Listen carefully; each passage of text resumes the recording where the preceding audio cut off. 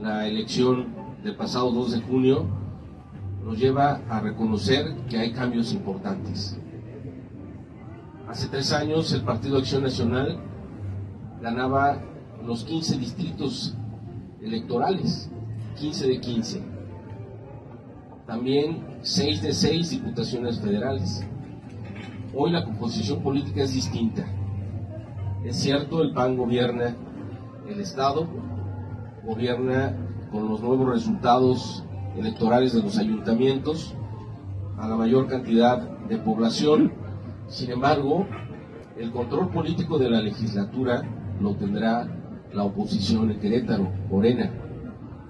Es un dato muy importante y relevante porque parecía eh, difícil perfilar, conocer que este escenario pudiese darse. Ahora el PAN pierde 10 de las 15 diputaciones. ¿Será acaso que los ciudadanos se manifestaron en contra?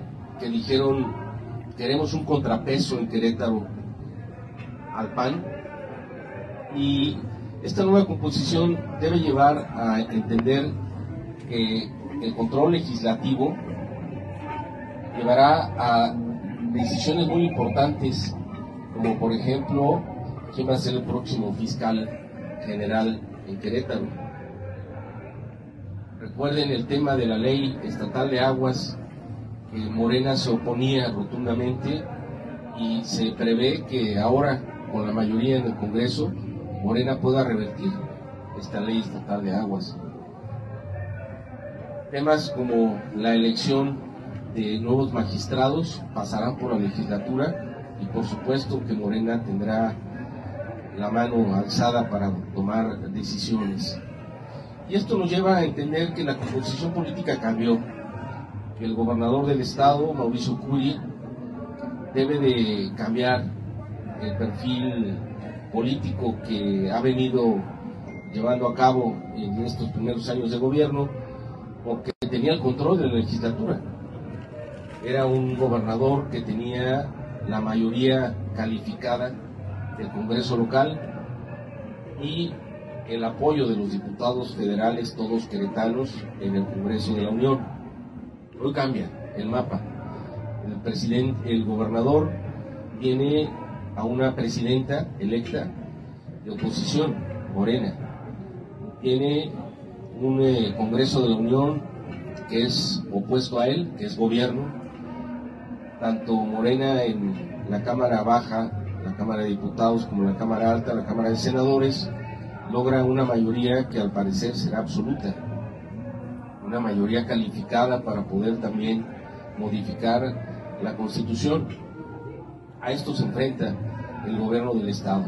Este es el gran reto. Y por eso, por Querétaro Todo hace la afirmación de que dos características, dos virtudes humanas tiene que ser parte de la nueva estructura de la política en Querétaro. La unidad y la generosidad políticas. Parecen utopías, pero hoy se convierten en grandes retos, porque habrá que entender que más allá de proyectos políticos partidistas o proyectos políticos ideológicos, la meta debe ser el bien común, lo que más conviene a los queretanos.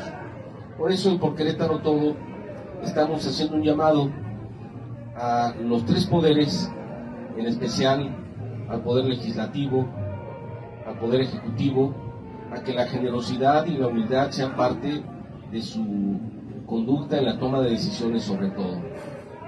Es el bien común lo que deben de considerar como objetivo hoy en momentos muy difíciles de México, no importa que haya habido elecciones, los problemas siguen allí. El tema de la inseguridad pública es un gran reto para los gobernantes y en Querétaro, observémoslo, el tema de la seguridad pública depende básicamente de los ayuntamientos y el poder ejecutivo estatal, la policía estatal. Esto quiere decir que hay, una, hay un gran reto entre la coordinación de los que sirven a los ciudadanos en el tema de la seguridad pública. Por una parte, entendamos, la Guardia Nacional pertenece al ámbito federal y las policías estatal y municipal están dentro del marco estatal. Allí también tendrá que haber una gran coordinación entre estos dos cuerpos que persiguen a los delincuentes porque la nueva composición política puede también afectar a la seguridad pública en Querétaro. No lo perdamos de vista. La nueva presidenta de la República, Claudia Sheinbaum, presidenta electa, tendrá a su cargo también el proponer al Senado un nuevo nombre para un fiscal general y los secretarios de los estados, especialmente el secretario de Seguridad Pública en el estado de Querétaro, tendrá que coordinarse con la federación. De ahí que los grandes retos tienen que ver con las actitudes de los gobernantes. Hoy, en Querétaro, quienes están ejerciendo algún cargo de elección popular deben de entender que el cargo es temporal y que la responsabilidad es permanente, que las decisiones que toman van a ser de trascendencia para los ciudadanos. Por ello, hago un llamado a los legisladores locales a que representen realmente a los ciudadanos y que no representen intereses particulares. Por Querétaro todo, nuestra organización seguirá teniendo presencia, seguiremos vigentes en la participación pública promoviendo la participación ciudadana y defendiendo valores como la vida, como la honestidad, como la misma participación.